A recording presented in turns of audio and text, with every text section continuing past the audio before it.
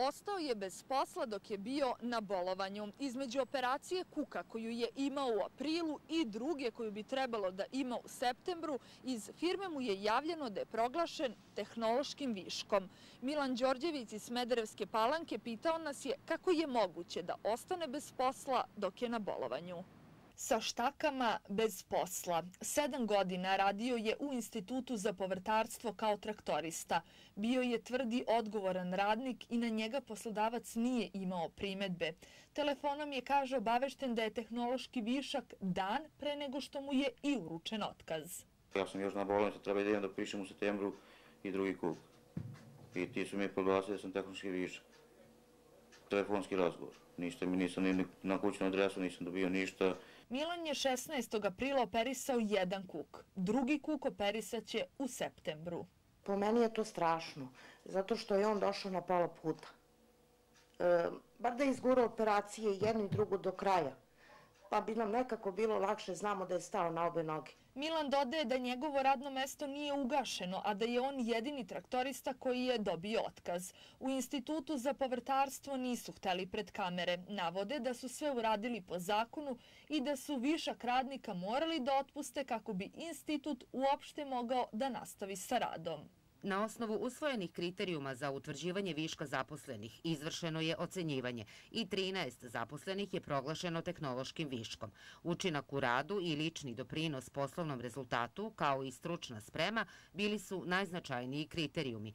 Za ocenjivanje radnog učinka posmatran je period od posljednjih godinu dana. Odsustvo zaposlenog sa rada zbog privremene sprečenosti nije bilo kriterijum za utvrđivanje viška zaposlenih. Bolovanje nikako i ne sme biti razlog za otkaz, a od posljednjih godinu dana koliko institut merio učinak zaposlenih, Milan je navodi pet meseci na bolovanju. Ipak, zakonom je propisano da i dok su radnici na bolovanju, poslodavacima može dati otkaz, kažu u Ministarstvu za rad može da donese odluku o smanjenju broja izvršilaca na pojedinim radnim mestima. Pa samim tim i da taj radnik bude proglašen tehnološkim viškom iako je na odsustvu, odnosno na bolovanju. Ipak članom 179 zakona o radu propisano je u kojim situacijama poslodavac može otpustiti zaposlenog. Između ostalog, kada povredi radnu obavezu, ne poštuje radnu disciplinu, učini krivično delo, ukoliko prestane potreba za obavljanjem određenog posla.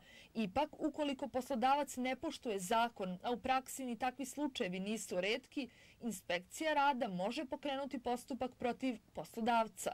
Ukoliko je nezakonito neko proglašen tehnološkim viškom, odnosno prestamo i radni odnos, Eh, sankcije za poslodavca su od 800.000 do 2 miliona dinara. U ministarstvu dodaju da zaposleni od uručivanja otkaza imaju rok od 60 dana da se obrate i sudu, ukoliko smatraju da su oštećeni. Milan će imati pravo na naknadu od nacionalne službe za zapošljavanje u narednih šest meseci. Tada će imati overenu i zdravstvenu knjižicu. Ali šta posle, pita se. Da li će posle operacije dva kuka uspeti brzo da se oporavi i pronađe novi posao ili će ostati i bez primanja i bez zdravstvenog osiguranja? Nije humano da čovek za vreme bolovanja ostane bez posla, ali po zakonu je. TV Pošta, adresa za sva vaša pitanja i probleme. Možete nam pisati na naš e-mail tvpošta.rts.rs, na adresu naše televizije RTS Takvoska 10 sa naznakom TV Pošta.